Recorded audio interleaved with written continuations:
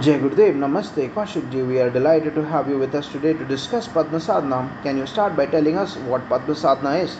Namaste. Padma Sadhana is a unique practice that combines physical postures, breath control, and meditation techniques to enhance overall well being. It draws from traditional yogic practices and is meant to bring about physical relaxation, mental clarity, and spiritual growth. What is the role of a guru in learning Padma Sadhana? The guidance of a guru is crucial in learning Padma Sadhana Gurus provide initiation and proper instructions, ensuring that the practice is done correctly and safely. Learning directly from a guru or through a recognized tradition is essential as it helps avoid mistakes and deepens the experience.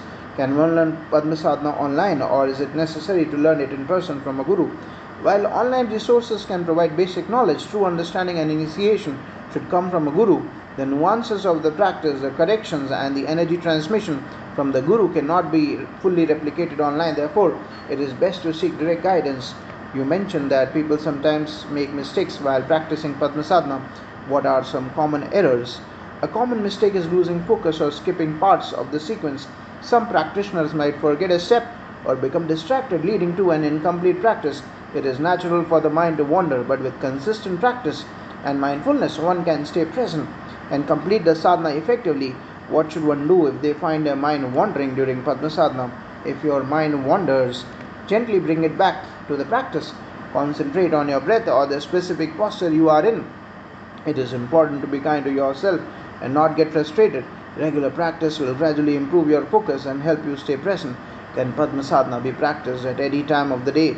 Ideally, Padmasadhana should be practiced early in the morning when the body is fresh and the mind is calm. However, it can be adapted to suit individual schedules. It is essential to practice on an empty stomach or after a light meal to avoid discomfort. Is it possible to practice Padma Sadhana with a partner or in a group? Yes, Padma Sadhana can be practiced alone or in a group. Practicing in a group can enhance the collective energy and provide motivation. However, it is crucial that each individual maintains their focus and follows the guidance of the guru or a knowledgeable instructor. Can some people experience physical or mental challenges during Padma Sadhana? What would you advise them? It is normal to face some challenges initially.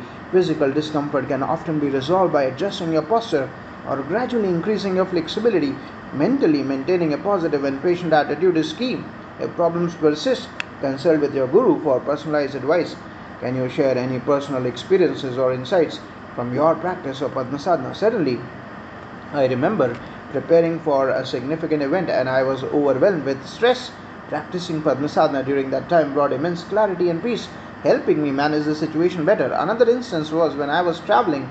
Despite being out of my regular routine, Padmasadhana helped me stay grounded and balanced. What are the long term benefits of practicing Padmasadhana regularly? Long term benefits include improved physical health, increased mental clarity, emotional stability, and spiritual growth. Regular practice can lead to a profound sense of inner peace and enhance your overall quality of life. Any final advice for those who are thinking about starting Padma Sadhana? My advice would be to approach Padma Sadhana with an open mind and a sincere heart. Be patient with yourself and stay committed to the practice. Seek guidance from a knowledgeable guru and allow yourself to experience the profound benefits that this sadhana can offer. Thank you so much, Mr. Kaushik, for sharing your wisdom and insights on Padma Sadhana. It has been a pleasure talking to you. Thank you. It was my pleasure to share this beautiful practice. Namaste. Jai.